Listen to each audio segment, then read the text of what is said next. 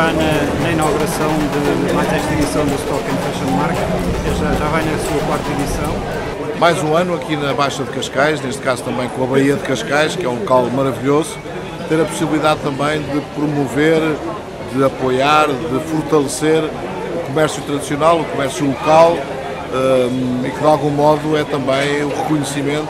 por todos aqueles que nestes momentos menos fáceis continuam a acreditar que vale a pena, continuam a arriscar e continuam também por via disso a garantir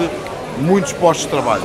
E por isso a minha presença aqui no dia em que se inaugura e que vai estar este fim de semana uh, todo uh, é também no sentido desse reconhecimento e desse incentivo. E para nós o êxito deles é o nosso êxito neste tipo de organizações. O objetivo de facto é,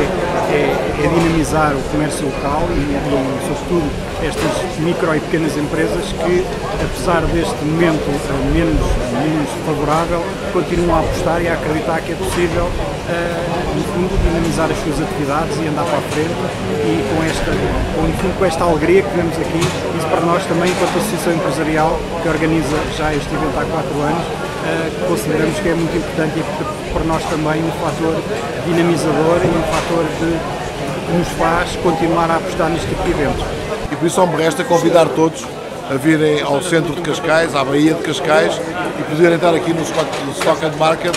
e apoiar também o nosso comércio local, porque já tive a oportunidade de ver, valerá a pena virem aqui ver alguns dos produtos para o verão, para a época que atravessamos e por isso basicamente é venham a Cascais, comprem no comércio local, no comércio tradicional.